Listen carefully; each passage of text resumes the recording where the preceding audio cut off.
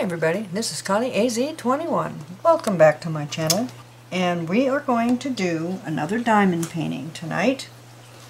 And the title of this one is Purple Lavender. It, I got my drills already. As you can see, they are going to be beautiful. So I'm going to set those aside.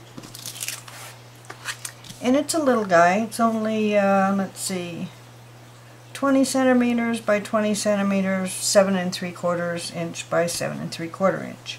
It is a round, it is a full, and again it has 22 colors.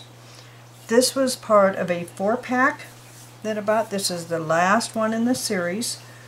Uh, there was a, a rose, a purple, let's see what was there, a red chrysanthemum, and a gold peony. Anyway, this is the final one in the set, and I am going to get started on it tonight. Alright, so I'm going to start down here in the bottom, in the on the bottom, and what I'm going to do is just a little corner here, and then I'm going to pause it and work some more off camera because I'm watching a, my favorite TV series.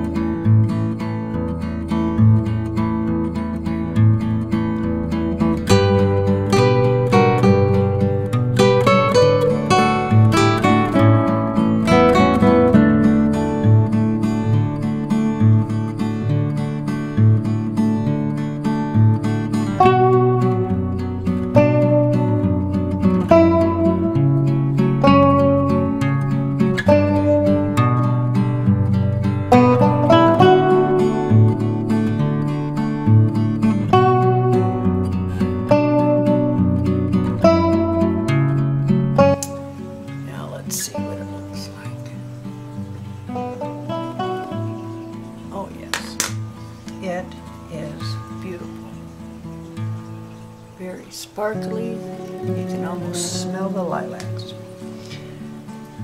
Thank you for watching my video. I hope you've enjoyed it. If you have, give it a thumbs up. If you have any questions, comments, or suggestions, comment section below. Thanks